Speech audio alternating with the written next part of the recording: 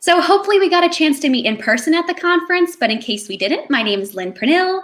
I live in Westchester County, New York, about an hour north of New York City, surrounded by the Hudson River and lots of pretty mountains. I'm a photographer and videographer specializing mostly in weddings and proposals. And I'm also an educator. I teach mostly about photography and business strategy. And my favorite topic is goal setting, which is what we're going to be diving into today. We're going to be talking all about goal setting, specifically how you can take all of those amazing takeaways you just learned from Creative at Heart and how to convert them into goals you'll actually be able to achieve.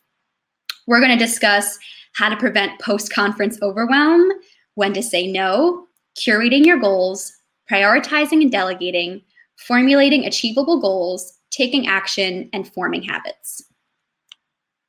Before we get started, a few little housekeeping items. At any time, feel free to leave a comment or ask a question using the chat box. to leave a comment, just type it in this box right here. And if you want to ask a question, just click that plus sign and it'll give you the option to mark it as a question. That just makes it easier to find them. And if you like a question that someone else asked, you can vote on it by clicking this button right here. So how many of you feel like you got lots of information from the conference? I personally feel like each day of the conference could have been a whole conference in itself. So it's probably safe to assume that your to-do to-do list is overflowing with ideas right now. I know mine is. And that's totally normal for a conference of this level with these inspiring and talented educators. So just know that you're definitely not alone and it's perfectly normal to feel a bit of post-conference overwhelm. These are a few of the things that I recommend doing before attending a conference to prevent this feeling of overwhelm. If you have an out of office message set up, consider making the return date one to two days later so you have time to unwind and organize all of your thoughts and ideas before feeling pressure to dive right back into your normal work schedule. This may sound a little mean, but consider even fibbing to your friends and family that the conference is longer than it actually is, so no one expects you to be available right away, and you have some time to yourself to decompress and kind of debrief after the conference. Or even better, if you're able to, stay an extra few days at the hotel so you can get started on your goals right away without any distractions. Studies have shown that you're more likely to accomplish a goal if you start taking action on it within the first 48 hours, even if it's just a small step. So try to give yourself some time as soon as possible after the conference to dive into your to-do list. And finally, be sure to bring a notebook or voice recorder or some other way to remember and document all the takeaways you get, which is why each of you got one of these goal setting handbooks on day one. So you could jot down all of your ideas as they popped into your head so you didn't forget anything. The first step to releasing the overwhelm is to brain dump. I'm a huge fan of brain dumping. I know Kat is too. This just means documenting your thoughts in any way necessary. It doesn't have to be neat. It can be in a notebook, on sticky notes, in the margins of your handouts. The goal is just to get the thoughts out of your head and get rid of any mental clutter so you can think clearly and give yourself a blank slate. The next step is to gather all of those ideas into one place. So like I said, when you're brain dumping, your ideas are probably scattered in a bunch of different places. So when you're in a calm state, gather them all back into one place on one piece of paper or one document or however you want to organize them. Next, you want to take that sheet and organize it even further by categorizing them. I recommend color coding. So I suggest coming up with a key for each color so you can divvy up your notes into those different categories. So it can be whatever categories you want. Um, you can assign a different color to different employees, maybe a color for yourself, a VA, and an intern. Or you can divide it by priority level. So highlight things that you want to do ASAP, monthly, quarterly, or long term or you can break it up into themes, maybe tasks that are related to your website or client relationship, blog, products, etc. Before we move on, I think it's really important to talk about curating, which is being selective about what goals and tasks you even allow onto your to-do list to begin with. We are busy people, our time is valuable, even our mental headspace is very valuable. So don't be afraid to be selective and picky about which goals you even allow onto your plate. I know there can be a lot of phantom pressure to do everything everyone else is doing, especially if you hear that top professionals in the industry are doing something a certain way. It can be tempting to think that you need to be doing it as well, but that's not necessarily true. It's perfectly okay to take some advice with a grain of salt or to just completely ignore it. Not every piece of advice is going to apply to you. For instance, you may be exclusively a service based business, so information about selling products won't apply to you. Or you might be single or not planning on having children, so certain family related advice may not apply to you. Choose how you interpret advice. It's kind of ironic as creative entrepreneurs, we're so creative when it comes to our products and services, but when it comes to receiving business advice, I feel like we have a tendency to interpret certain tips as requirements, not optional ideas. So try to take advice as inspiration. Use your creativity to amend the advice to fit your business, your life, and your special circumstances. After each breakout session or keynote talk, take some time to decipher what points are relevant and suitable to you and which ones you can politely decline. So now that we've decided what we do want to take, we have to acknowledge that we don't have time for everything. Unfortunately, there are only 24 hours in a day. Most of the time, one of these scenarios is usually true. You can do everything, but you can't do everything at once. Or you can do everything, but you can't do everything by yourself. If your limitation is time, the solution is to prioritize. And if your limitation is help, the solution is to delegate. Something that can help you determine how to best tackle each goal is the time management matrix. How it works is you divvy up your goals into these boxes by asking yourself how time sensitive or important it is and how exclusive or important it is. That will help you decide whether you should prioritize and do now, schedule for later, delegate or automate, or eliminate. Let's start with this one. The least important and least urgent items are the quickest to get off your plate. You can either automate or find a program or software that can take care of it for you, or you can just completely eliminate it. I know it's hard. I have a hard time with this one, but by eliminating the less important tasks, you can allocate your resources to only your most important and urgent goals. That way, you can achieve even greater results than you would have if you spread your resources too thin. This concept is called pruning. It means to reduce the extent of something by removing superfluous or unwanted parts, especially to increase fruitfulness and growth. It's a common term in gardening. You might prune the sides of a bush to make it grow taller and fuller. Or if you have a pumpkin patch, you might prune all of the pumpkins except for one on each vine. That way, all the water and nutrients go to that one pumpkin. That way, you end up with a beautiful, big, healthy pumpkin rather than a bunch of small, scrawny, unhealthy pumpkins. If you guys have ever heard of the book The Pumpkin Plan by Mike Michalowicz, that's the analogy he uses in the book. And that's what we want to do with our goals. We want to get rid of the ones that aren't necessary so we can dedicate more of our resources to what's actually important to us and our businesses. If you think it's a task that still needs to get done, but it's not necessarily something that's important for you to exclusively do, delegate it. Now, this is a huge topic in itself. I don't want to go too far off topic, but I think these are the four most important requirements to successfully delegating. First and foremost, I think you have to be fully ready to outsource. You have to have enough work for them to do once you hire them. And of course, you have to have enough expendable income to afford it. Next, I would take the time to make a clear job description, figure out exactly what kind of work you want them to do so you can find someone that's a great fit for the position. Before you commit to them long term, start with a trial run. Maybe give them a smaller project to see what their work is like before you give them a bigger responsibility. Also, be prepared to have to give feedback and train them to work the way you like. It's pretty unlikely you're going to find someone perfect right away, so be patient and be aware that it's going to take a little while to train them. Outsourcing may take a bit time and effort up front, but the goal is to save you even more time and effort in the long run. Think of a machine. It takes a long time to build a machine, but once it's built, it runs on autopilot. So the longer you take up front to build a better quality machine, the better quality its output is going to be, and the less often you'll need to repair it. So just keep that in mind when deciding to outsource. Now that we've decided which tasks are the most important that only we can do, we have to decide what chronological order they should be done in. Of course, the most important tasks should come first, but also make sure to prioritize any goals that are necessary to move yourself in the direction you want to go or possibly impact or affect future goals. So for instance, if one of your goals is to make a new website, first you have to write the copy, decide on the photos. So those tasks need to come first. So just make sure you're prioritizing any tasks that are a prerequisite for something else. Have you ever thought to yourself, I wish there were more hours in the day, or if only I could find more time? I feel like I think that every single day. Well, the crazy thing is, you can never find more time, but you can make time by prioritizing. So there's this awesome analogy called the jar analogy by Stephen Covey. It shows the sort of phenomenon that happens when you manage your time properly, or in this case, these objects, um, water, sand, pebbles, and rocks. So as I go through this, think of the act of putting these objects into the jar as an analogy for how you write things onto your calendar. First, let's imagine putting the objects into the jar from smallest to largest. So water first, then sand, then pebbles, and then rocks. When you go from smallest to largest, you create these useless gaps so the objects aren't able to fit properly and it overflows.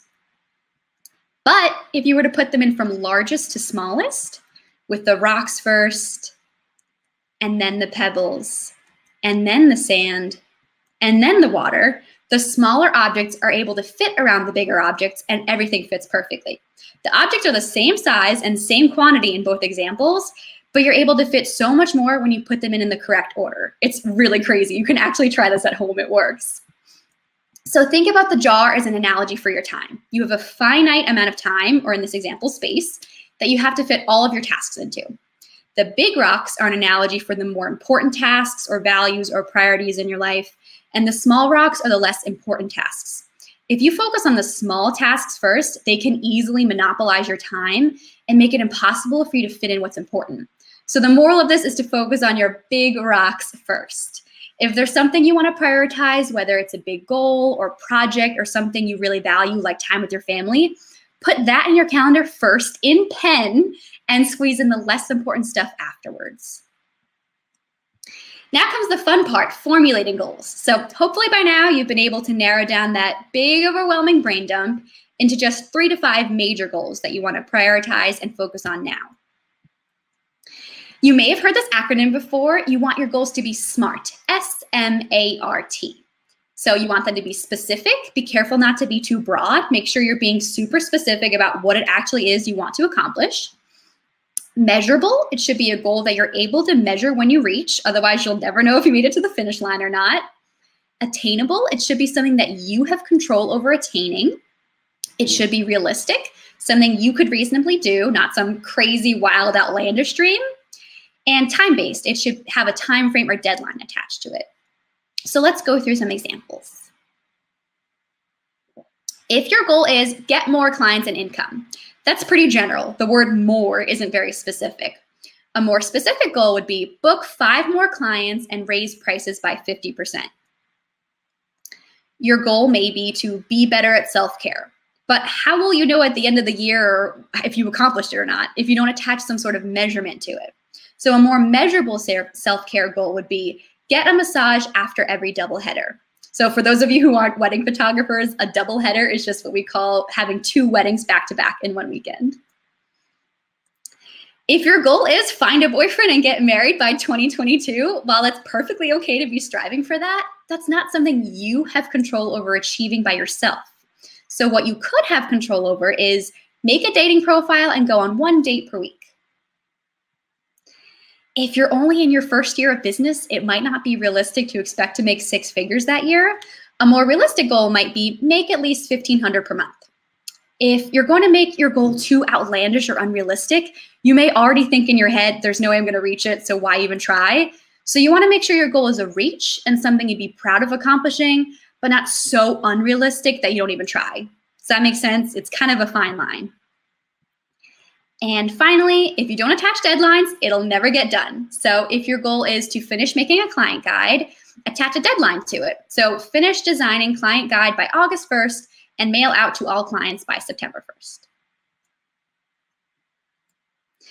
So now comes the exciting or maybe slightly daunting part, taking action. If any of your goals seem so big you don't even know where to begin, think of this quote.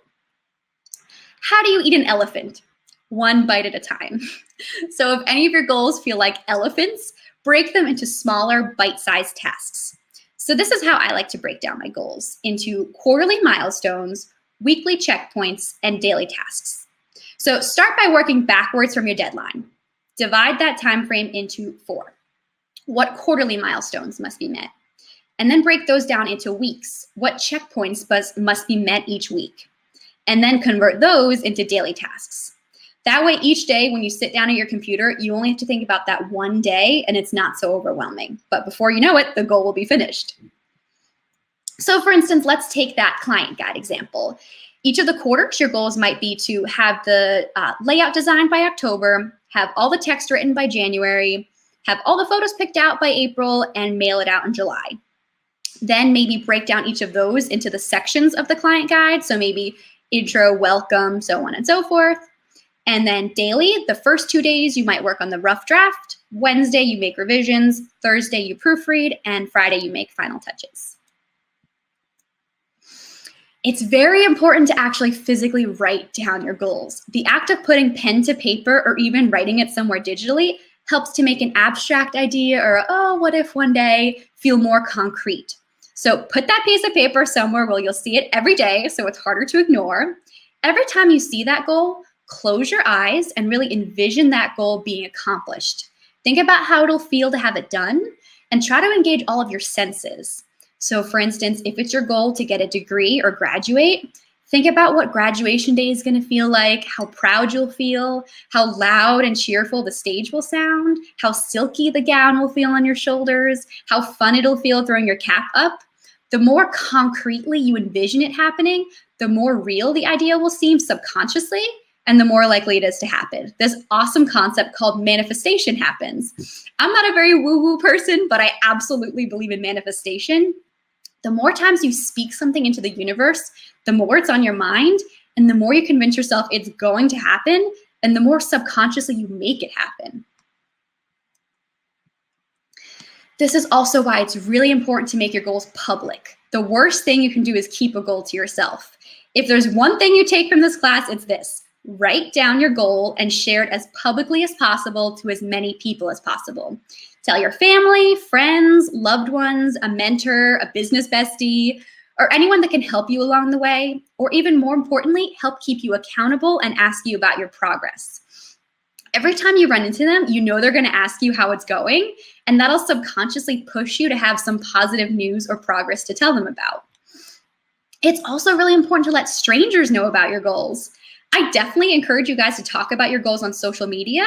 You never know who might read your post and be in a position to help you. And people love helping people.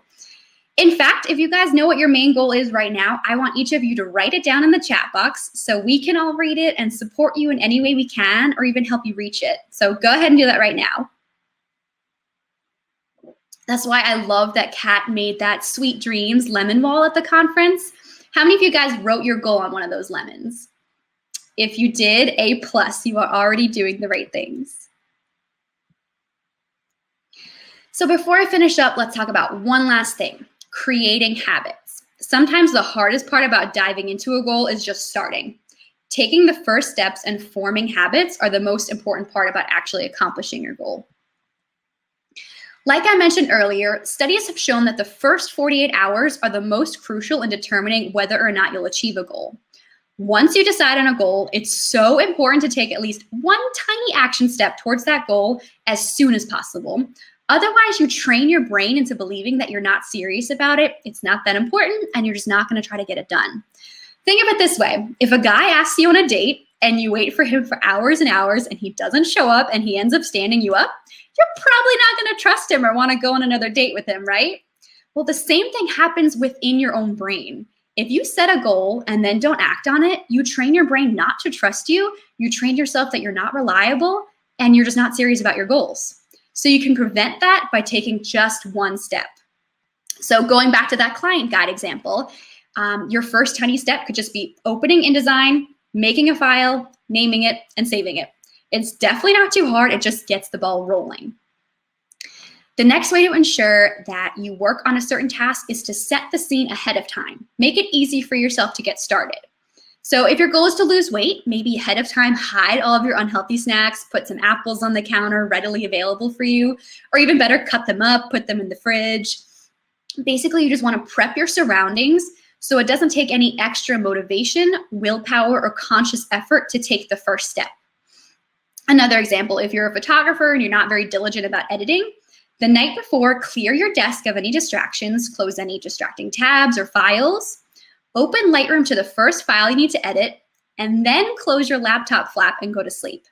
That way, when you wake up the next morning, when you go to start working, you've already created the easiest environment for you to start editing. The next tip is to anchor. You want to use habits you've already established and are already good at to trigger new ones. When I was a kid, I was a typical lazy kid around bedtime and didn't want to brush my teeth. But the second I got contacts, I was the best at brushing my teeth. I really didn't want to wear glasses. I wanted contacts. But my eye doctor and my parents told me how bad it was to fall asleep in them. And there was this big, scary poster in the eye doctor office of an eye that had gotten infected because someone didn't take them out. So I was very diligent about taking them out. And then once I was already in the bathroom by the sink, it was easy to just also brush my teeth. So I use the easy habit, taking out my contacts, to trigger the second habit, brushing my teeth. And finally, the most important one reward yourself. Celebrate your wins no matter how small they are. For example, I'm really motivated by crossing things off my to do list. So if I do something that I wasn't planning on doing that day, I'll just write it onto my list anyway, so I get the satisfaction of crossing it off. Or if your spouse, husband, or boyfriend asks you how your day was, but you only got a few little things done, go ahead and list all of those things for him, no matter how small. Don't make them seem insignificant. If we believe that the small tasks are insignificant, we won't have any motivation to do them. And in the end, the big things will only happen if we do all the small things. So on that note, happy goal setting. I'm going to exit full screen in a few seconds so I can read the chat box. But in the meantime, feel free to write any questions you have. Make sure to mark them. If you think of something later, go ahead and DM me. That's my Instagram handle, and that's my photography website and education website.